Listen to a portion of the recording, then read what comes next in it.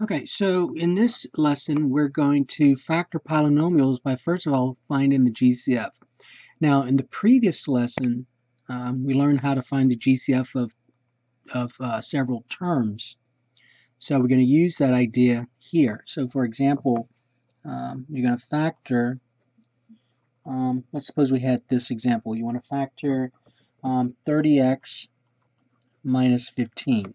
So 30x minus 15. Well, this polynomial has two terms, a 30x and a negative 15.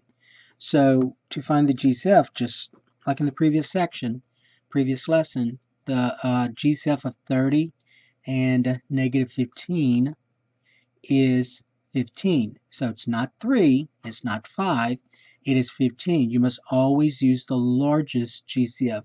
So when you factor, it's always the largest. So the GCF so far is uh, 15. Now let's look at the variables. I have an x here, but I don't have an x here, so I'm not going to need an x. So the only so the GCF is only 15. Now, what you're going to do, remember when you factor, when you factor, like if I wanted to uh, find a um, find uh, a product that gives me, let's say, 6, I would say 3 times 2. So uh, 3 times 2 is a factored form of 6. So these are your factors. So when when you um, these are your factors. Um, so when you find your factors, you write a product. So GCF is one of my factors. So I'm going to say 15 times, and then remember, um, you're you want to whatever goes in here, you want to make sure you get the original back. So if I say a factor of three is a factor of 6 is 3, then I can say I got to say 3 times what is 6. So I would say 3 times 2. So 15 times what is 30x minus 15. Well, also keep in mind that this polynomial has two terms, so you better have two terms inside this parentheses. All right, and then use the distributive property to help you. So 15 times times uh, 2x 15 times 2x is 30x. 15 times 2 is 30. 30 times x is 30x. And then 15 times what is a negative 15? Well, 15 times a negative 1 is a negative 15, and there's your answer. So um, I wrote 30x minus 15 as a product of two factors, 15 and 2x minus 1, where this 15 was the GCF. Okay? All right, now if you make a mistake, Let's suppose you make a mistake and you say factor out a 3. You factor out a 3. You would get 3 times, um, 3 times uh, 10, uh, 10x is 30x, minus uh, 3 times a negative, um, 5, 3 times negative 5 is a negative 15. But the issue is that you see this factor right here? It still has something in common. These two terms still have something in common. It has a 5 in common. So you got to always check your factors, your polynomial, to, to make sure that there's nothing else here that you could take out. So I could take out a 5, and I'm left with 5 times um, 2x. 5 times 2x is 10x, minus 5 times 1 is 5. And then your final answer, don't forget to do this, will be 3 times 5. So it'll be 15 times 2x minus 1. So it's always best at the beginning to factor out the GCF at the beginning. Don't don't just factor out a common factor because sometimes we forget to check this to see if, if there's something else I can I can factor out.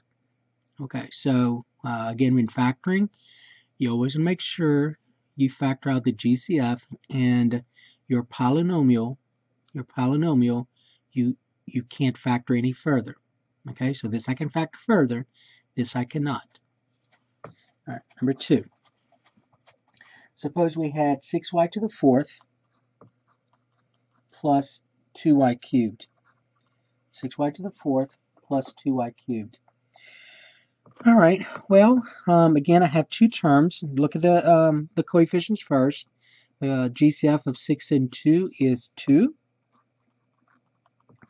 Now I also have, in this case, I also have variables in both of those, and they're both y's, so I'm going to need y, at least one factor y, in my GCF, the question is how many must I use? Well, I have four factors here.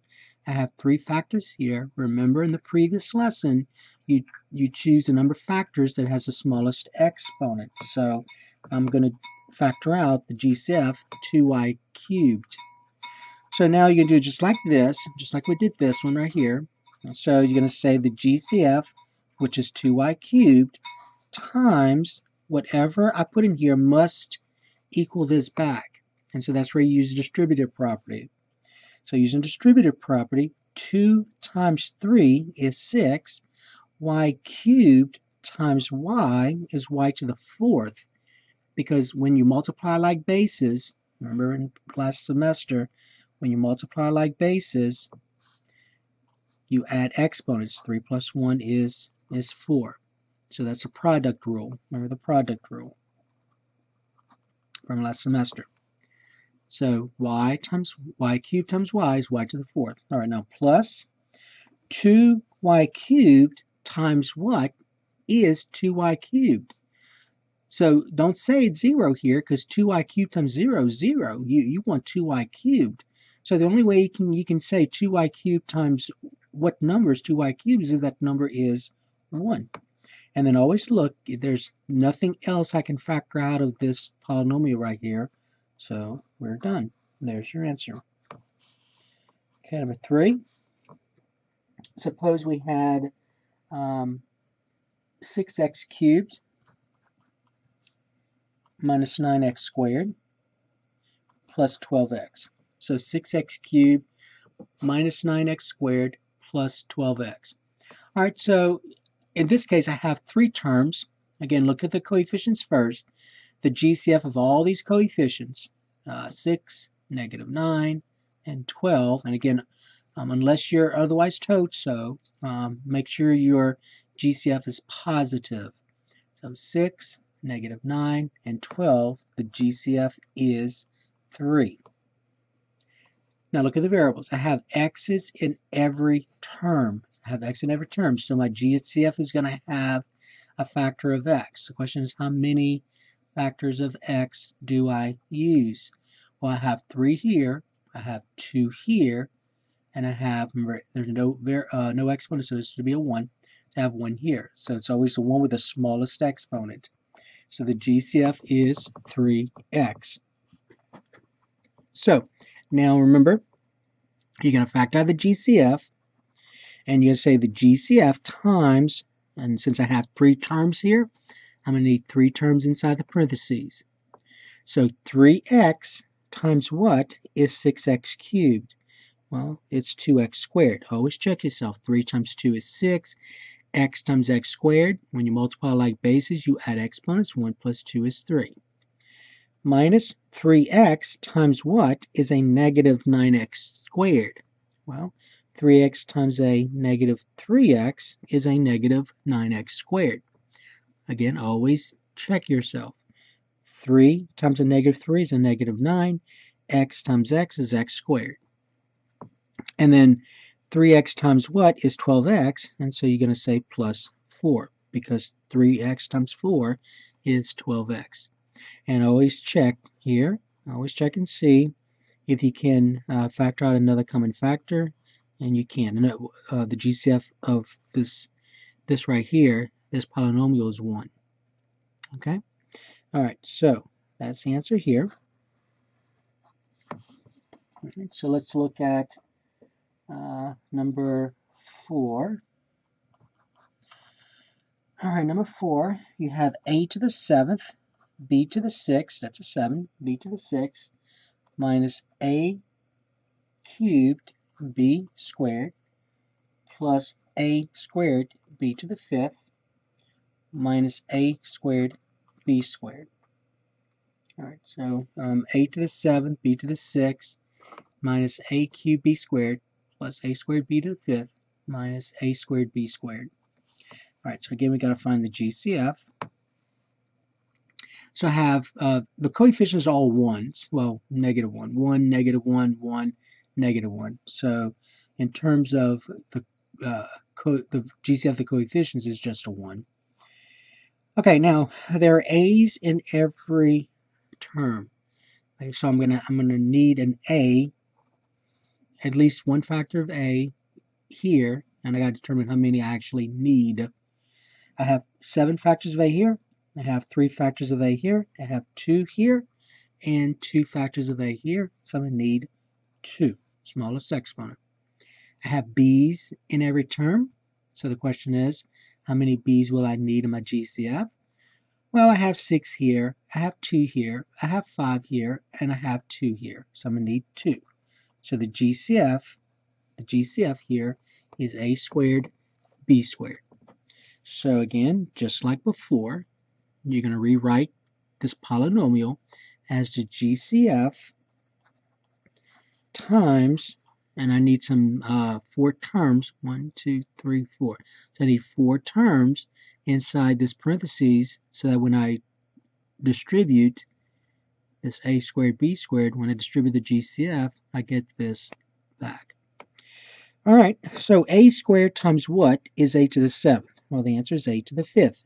Because again, remember, last semester, using the product rule, uh, when you multiply like bases, a squared times a to the fifth. When you multiply like bases, you add exponents. So be a to the seventh. b squared times b to the fourth is b to the sixth, because 2 plus 4 is 6.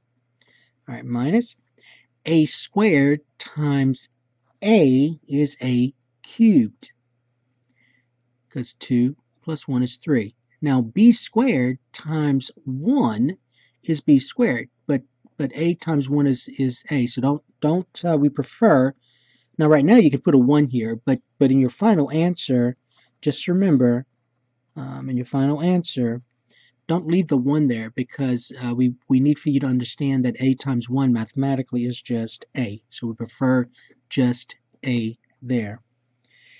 And then the same for the same thing here, a squared times 1 is a squared, b squared times b, that's times, times b cubed is b to the fifth. Again, um, we just prefer you say b cubed, not 1 times b cubed or 1b cubed.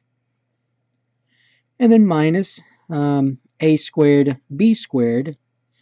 Um, so you would say a squared times, and you could do this in your head, you know that's going to be a 1 right here, but you could say a squared times 1 is a squared, and then b squared times 1 is b squared, but we know that, that uh, uh, a negative 1 times 1 is a negative 1. And so that will be your answer right here. Okay. All right, and then number uh, 5, let's look at this example. Suppose we had, um, all right, suppose we had 1 third x to the fourth plus 2 thirds x cubed minus 4 fifths um, x to the fifth plus one third um, x. That's one. That's four thirds right here. Four thirds. All right. Now this is not that that hard. This is pretty easy. What what throws people off is the fact that that these coefficients are fractions. But the, it's not that bad because all of these denominators are the same. If they were not the same, you would you would have to rewrite it so that they have the same LCD.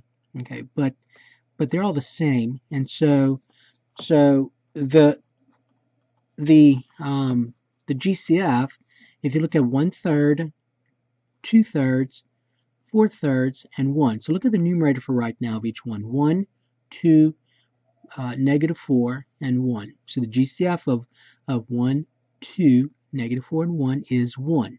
So so far my GCF is one in terms of the coefficient. In terms of the variables, oops, I'm sorry. Um, and then uh, I need to be a little bit careful what I just said. Um, and then my denominators are all 3, so the GCF of all my denominators is 3. So the GCF of the coefficients then is 1 third.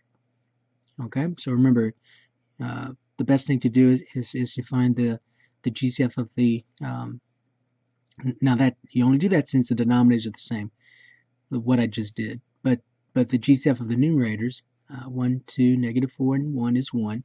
The GCF of the denominators is all the same. The GCF is, is that number, so it's 3. They have variables in every term. Um, this is a 5 right here. So 4, 3, 5, and 1, so you would take out the one with the smallest exponent. So you'd factor out 1 third x. So I'm going to get 1 third x, 1 third x, times, and then let's see, there's 1, 2, 3, 4. So I'm going to need four terms in here. So 1 third x times what is 1 third x to the fourth? Well, um, you know that 1 third times 1 is 1 third. So x times what is x to the fourth? The answer is x cubed. So that let's go there. So 1 third x times x cubed is 1 third x to the fourth. All right, now let's think about this one. So 1 third times what is 2 thirds? So that's a question. 1 third times what is 2 thirds? Well, 1 third times 2 is 2 thirds. All right, so remember um, in Math 97, when you multiply fractions, you can write 2 as 2 over 1. So 1 times 2 is 2, 3 times 1 is 3. So 1 third times 2 is 2 thirds. So, so a 2 goes here so far. And then x times what is x cubed? So we'll say 2x squared. So 1 third x times 2x squared is 2 thirds x cubed. And then the same idea here. So uh, that's going to be minus of subtraction right here. But 1 third times what is 4 thirds. So 1 third times what is 4 thirds. So you would say 4. So 1 third times 4 is 4 thirds. So this is so right here you're going to say uh, minus 4 and then x times x to the fourth x times x to the fourth when you multiply like bases you add exponents, 4 plus 1 is 5. And then plus 1 third x times what is 1 third x? Well, from previous discussion, we know that that 1 third x times 1 is itself. And so there's your answer. All right, and then, okay, now let's look at this one. So this is going to be a little bit different, look a little bit different than these. But let's suppose you had this. Suppose you had z times y plus 4 minus 3 times y plus 4. Right, suppose you had z times y plus 4 minus 3 times y plus 4. So basically, if you, if you look at, at this right here, um, you, you have a, a group of factors here. So if I cover this up right here, you have z times uh, y plus 4. Over here, you have a group of factors, a negative 3 times y plus 4. All right, so you have two groups here. Notice that these two groups, they have a common factor. So if you look at these two groups, the GCF is y plus 4. That's the GCF, y plus 4. Okay, so just like you did here. So you found the GCF of each of these groups. So you had four group terms, so four groups of terms here. All right, here you have four groups, uh, two groups rather. Um, this group has two factors, and this group has two factors. They both have a y plus 4 in common. Now, this idea is going to be important in the next lesson. You're going to see this show up in the next lesson. So, um, when we actually factor a polynomial by grouping, um, that's what it's going to eventually look like. And then the next step would be, all right, so since the GCF, I'm going to write this as GCF, since the GCF is y plus 4, y plus 4, I'm going to factor it out. So I'm going to say y plus 4 in parentheses now. You got to use parentheses. Times, all right, so if I factor out a y plus 4, in other words, if I, if I cover this up, I'm left with z. And always check yourself. y plus 4 times z is z times y plus 4. Minus, if I factor out this y plus 4, I'm left with a negative 3. And so there's your answer. So y plus 4 times z minus 3 is this right here. And, and again, if you distribute, you see it works. y plus 4 times z is zy plus 4. y plus 4 times a negative 3 is a negative 3 times y plus 4. Okay, so let's look at this one. Suppose we had um, r times um, z squared minus 6 plus and then z squared minus 6. All right? Okay, now, again, think of these as, as two groups. You have this group, which, which has the factors r and uh, z squared minus 6, and you have this group. Now, I'm going to rewrite this over, but I want you to listen closely. Um, this group here, there's a number right here. There's no, if, there, if you don't see it, remember it's understood to be a 1. So um, it may help you if you put a 1 here. And now if you look at these two groups right here, the GCF of these two groups, they have a z squared minus 6. So the GCF is um, z squared minus 6. And put that in parentheses. You're going to factor it out. So we get z squared minus 6. So that's your GCF times, and so I want to put something in here so that I get this back, uh, uh, the original back. So z squared minus 6, if I factor out the z squared minus 6, I'm left with r. So z squared minus 6, if you distribute, check yourself. z squared minus 6 times r is r z squared minus 6 plus, and that's where this can be important, this number right here, plus. If I factor out a z squared minus 6, I'm left with 1. So uh, z squared minus 6 times 1 is z squared minus 6. And so now I, I put the parentheses way out here, so I'm going to re redo this. So the answer is going to be z squared minus 6 times r plus 1. All right, so don't, don't put the, the closing parentheses all the way out here. There's too much space in here. And so there's your answer. Okay, so that takes care of this lesson where where we were looking at factoring um, polynomials by by factoring out G to the GCF. And that's going to be important. Being able to factor out the GCF is going to be important um, as we go through this chapter. So GCF, GCF, GCF, and so on. Okay, GCF, GCF, GCF, and GCF. Okay? All right, so the next lesson is going to involve this idea again, before, before I end this, is going to involve um, something that's going to look like this. So you're going to notice this in the next lesson. And this whole idea is going to be called factor by grouping. Remember I used the word group. So groups here. Okay?